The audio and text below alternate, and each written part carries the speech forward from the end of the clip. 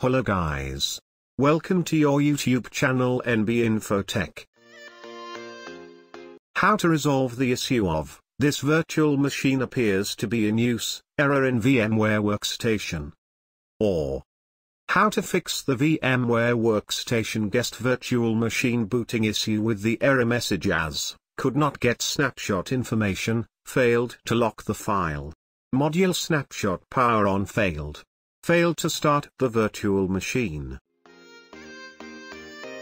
Many of people always face this issue while working with VMware Workstation, when the guest virtual machine is suspended and unable to resume, then it throws error message as, could not get snapshot information, failed to lock the file. Module snapshot power on failed. Failed to start the virtual machine.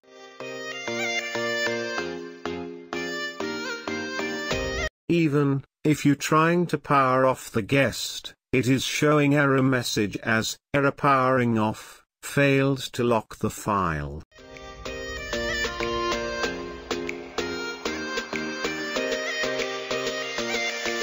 Even in this case, you cannot edit virtual machine settings, as well.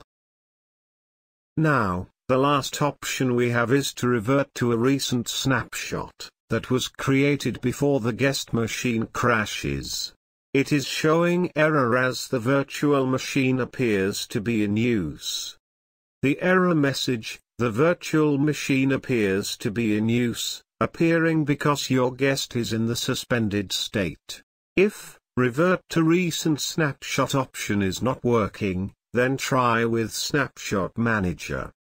By using Snapshot Manager you can manage all your snapshots like, take a new snapshot, clone any previous snapshot, or to delete snapshot, etc.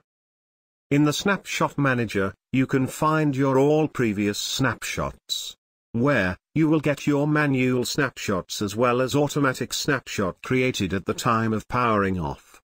Here, NB Fresh Install Win 10, is my manual snapshot taken after creation of new guest, with fresh installation of Windows 10 operating system.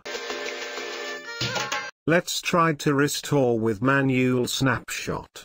But, it is still showing the same error message as, the virtual machine appears to be in use. Then, what is the solution for it? Follow the steps as per shown in the video, to resolve this issue. First of all, shut down all running guest virtual machines and close the VMware workstation. Go to the directory where virtual machine is located or saved. By default it is saved in the My Documents folder, open Virtual Machines folder, and then go to your Problematic Virtual Machine folder.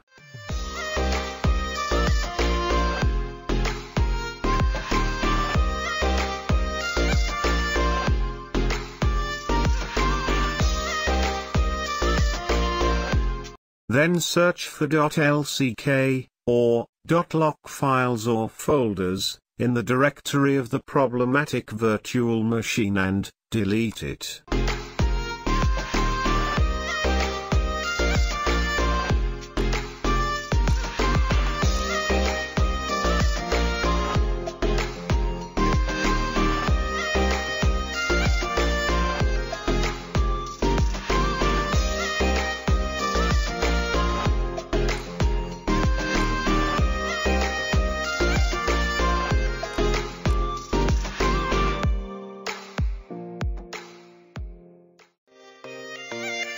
Now, start the VMware Workstation application, and go to your problematic guest virtual machine.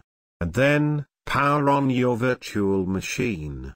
Else, if you want to restore to your previous snapshot, then go to Snapshot Manager, and select your snapshot and then, click on Go To button.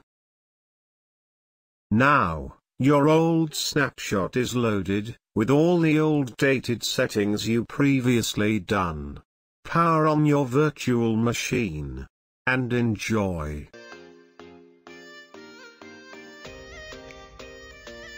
If you think this video is useful, then like this video, and comment your response. Please subscribe our channel NB Infotech for more videos. And press the bell icon. Till then, take care, see you in the next video, thanks for watching.